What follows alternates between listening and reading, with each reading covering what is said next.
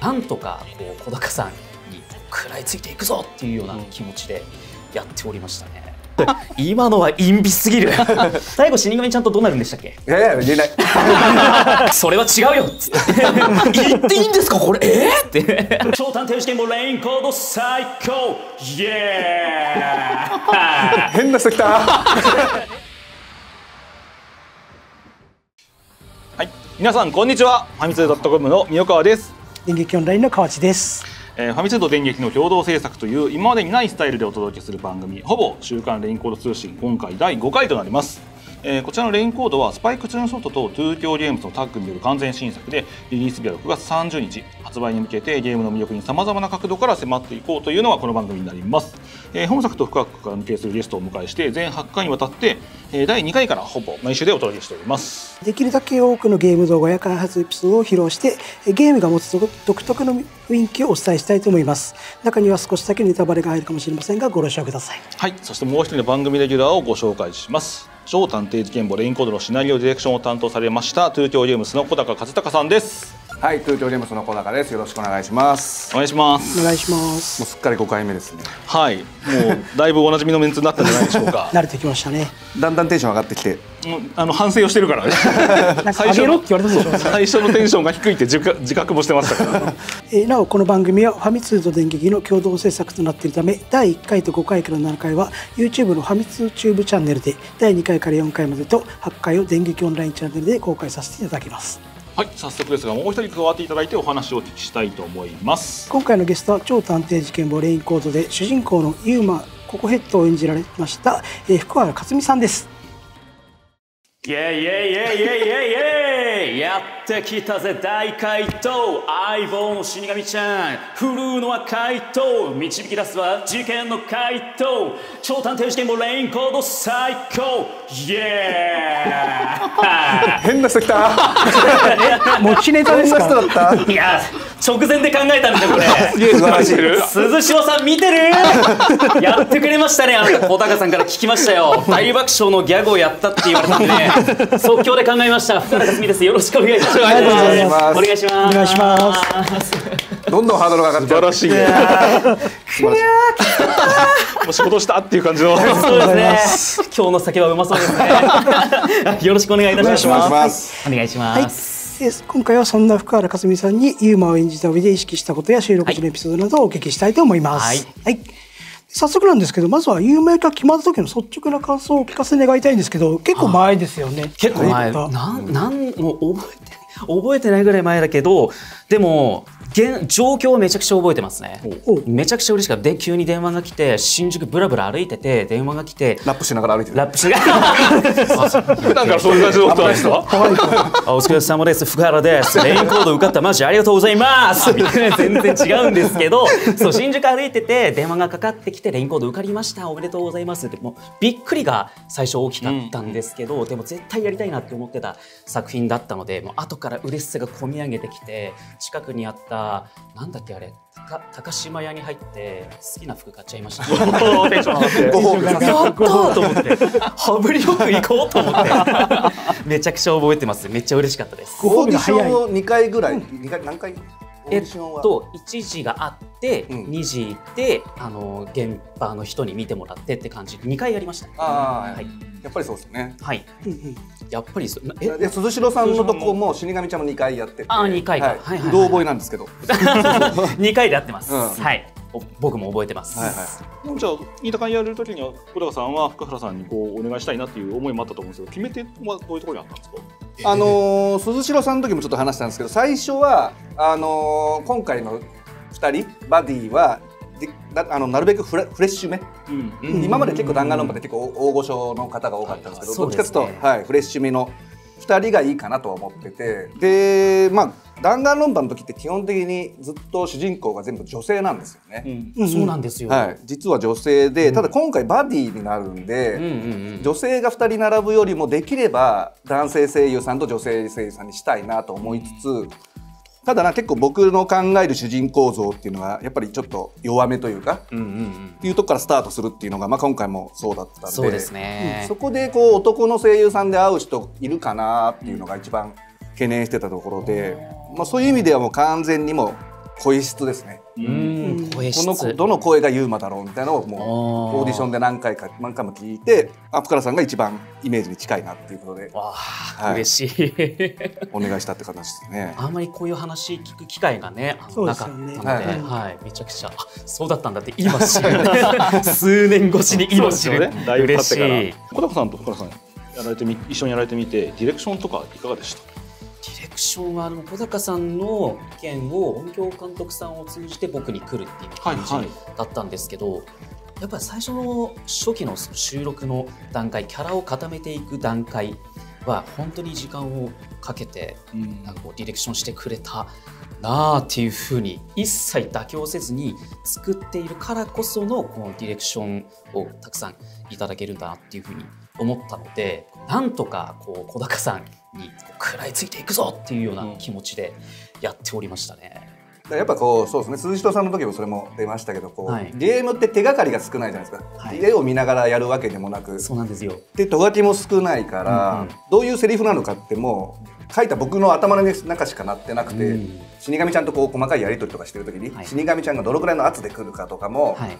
全部こう想像できる人がやっぱいないんで。うんうんうんでそれちょっとずらしちゃうとなんか演技がこう2人の掛け合いがちぐはぐになっちゃうんで、うん。できる限り僕の頭になってるのに近くしたいっていう思いが。なるほど。あるんでだから別に演技としては正解なんだけど、はい。ただこれをもうちょっとこの圧にしないとなとか、もうちょっとここかここはすかさないとなとかが結構プランというか頭の中でもうなっちゃってるんでん。悪いけどこっちにしてほしいみたいな感じのがでやっぱ時間かかるところが、うん。あったりしますね。あーあでも結構不安でしたね。やっぱそのかけゲームってね、うん。その掛け合いができないでずっと一人でうん。撮るものなので、やっぱ、ね、でも毎回その、ね、死神ちゃんを先に撮ってたら、死神ちゃんの声を聞いた後に演技っていうふうにはできないので、時間もありますし、だからこう死神ちゃんがどう来るかっていうのは結構まあ想像はしてしながら収録はしたんですけど結構カンパケは聞いたこ聞いてなかったので、結構不安なところではあったんですけど今ちょっとこう不安がこうふっと消え去りました。うん なるほど。そうですねそこがやっぱ一番ゲームの収録では僕は気を使ってるところですね。まあ、弾丸論破もそうですけど掛け合いが異常に多いんでそうですね。そこのこう音音の圧というかバランスは絶対にこう取らないといけないなっていうのは、そこ一番気に使ってるんでまあでも収録も1年以上やって。やりましたね。本当に追加収録も含めたら1年半ぐらいは多分期間やってたような気がします、ね。ほぼほぼ週1ぐらいでしたよね。やってましたね。はい。では実際にここからはユーマの映像を見ながら深川さんにお話を伺っていきたいと思います。はい。えーまずはこちらのシーンです。よろしくお願いします。福原さん自体も見るのは初めてですよね。そうなんですよ。収録の段階ではね、なんかこうちょっとデモ的なうんやつはちょっとちらっと見せていただいたんですけど、うん。完全にこう完成するのはん見るのは初めてですね。いつまで寝てるの？いい加減ぶっ切るよ そうこの表情差分もめちゃくちゃいっぱいあって。ああうん。このいこのデカめの紙になんか50パターンくらいあるやつが2枚みたいな。2枚最終的にはもっと増えましたね。え増えたはいユーマの表情は。えー、すごっ。ユーマは基本おとなしくておどおどしてる感じなんですかね。結構二面性がある感じ。うーんおとなしいおとなしいシーンがでもあんまりなんかその一緒にやっていく仲間と喋ってる時は結構まあ温和というか、うんうん。うん、優しい性格なんですけどこう怯えたりとか事件に遭遇したりとかってなると初期の段階だと結構慌てちゃってなんせ記憶喪失なんで彼。うんうん。うん、何もわからない中こう振り回されるもんなんで本当にもう最初はいろいろ参考にしたキャラもいたんですけど結構慌てふためいてっていうのを演技プランに組み込んでやってましたね。ちゃん結構じゃあ最初の印象と違ったりとかするんですか？初めて見た時とかいやでも見た目の印象まんまの思った通りのあこうセリフだったけどそれをこうもっとやった方がいいっていうふうにその収録時にディレクションをいただいたので。グラフィックもいいな結構ゲームは若干その声優さんの仕事のジャンルの中では若干舞台に近いというかちょっとオーバーリアクションの方が入るというかアニメとかってやっぱ細かい動きとかアップもあるし、はいあなるほど。そういうのがあるけど、まあ、さこういうパターンのゲームの場合はちょっともうちょい舞台っぽいのを意識する方が実は映えるっていうか。なるほどなるほど。頭にアホ毛があると弾丸論破シリーズを思い浮かべちゃうんですけど 小高さん的にはちょっと意識したんですかねこれは。いやもうこのアホ毛を僕がなんかディレクションしたことはなく小松崎がいつもややるというか。あえー、はい。そうなんですね、自主的に。そしてそれに対して僕も何も言わずという。か そういうものになってきたえー自然についてる。ね、そうですね。しそう自然なんですよね、え似合ってますよね。似合ってる似合ってる。自分でセットしてるのかあ セットしてんだ。わざわざ。なわざわざこうアイロンでね。じゃあ続いてのシーンお願いし初ます、登場ですね初登場、序盤も序盤。ご主人様を犯人にして隠蔽を図るつもりだねこれも鈴代さん鈴代さんの時見たのと同じで回答を出すところですね、はい。あ回答をね、ねびっくりしましたよ。そこから？なんだかエッチって感じでした。思いますよね。わかりますなんだかエッチだ。でもね、ゆうまくんはそれどころじゃないですから。確かに、うん、必死ですから。必死ですからね。脳死しちゃいますから、負けたら。ちょっとちょっと。いけませんね。いや本当に死神ちゃんな人型の時もめちゃくちゃ可愛いんですよね。身長差がまたね。身長差のこれも。いやー分かってるわ。分かってらっしゃいますわ。ツボってやつはあちょっと。いいんですかこんなに。ね目も鍵穴になってたりとかして口の中からなんだけどな。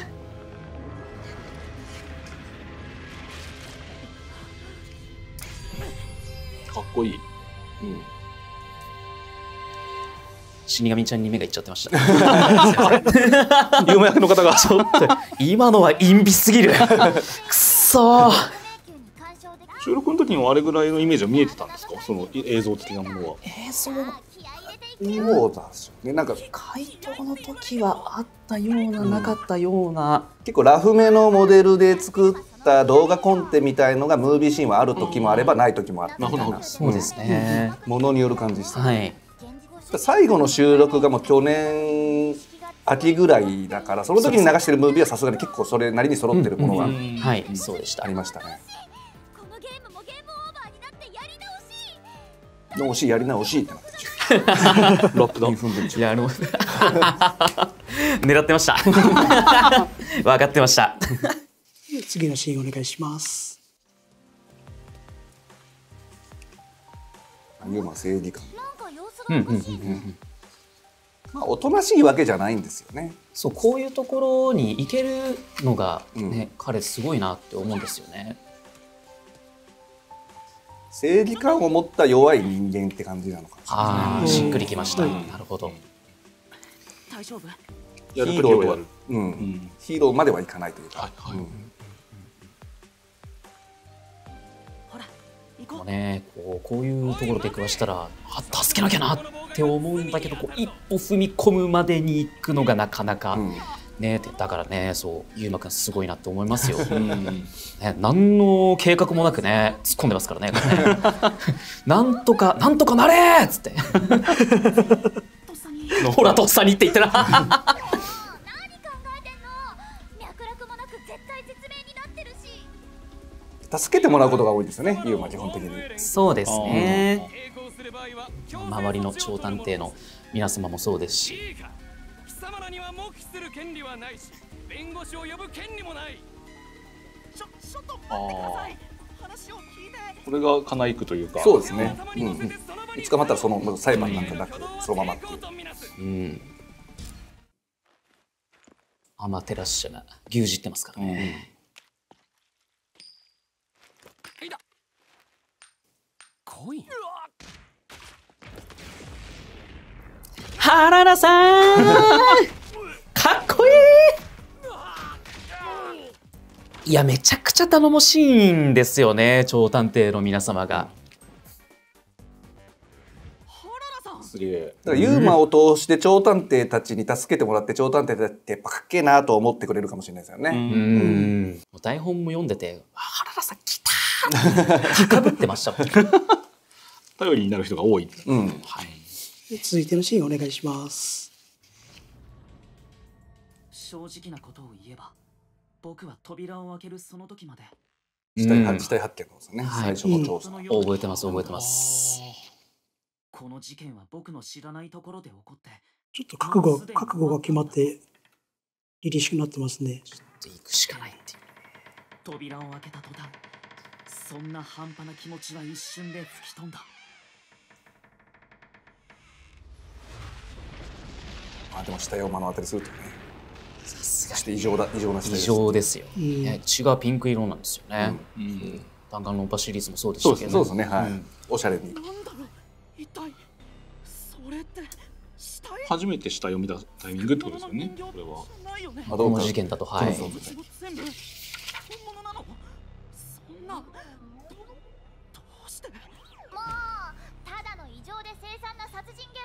死神ちゃんはもう死体なんていくらでも見てる。いくらでも大丈夫、はいまあ死どんとこい。神死神だからこそ。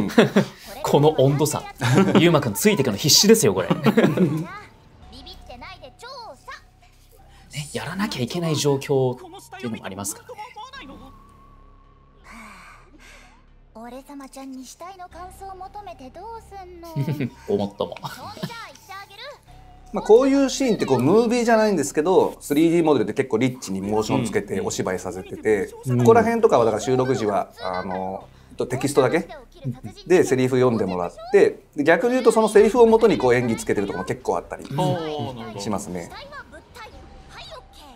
福原さんたちの演技が結構生かされたというか。そうですね、はい、だからプレスコみたいなイメージですね、この辺の。うんうんうんうん。そうそう。張り切って調査開始。ですよねそう考えるとがぜんこうプレイするのがうん。新たな楽しみが増えましたね、ああ、そうそう。で最後のシーンお願いします。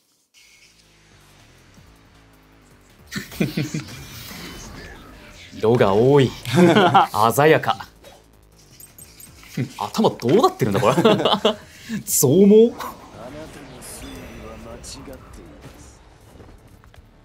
アクションシーンですね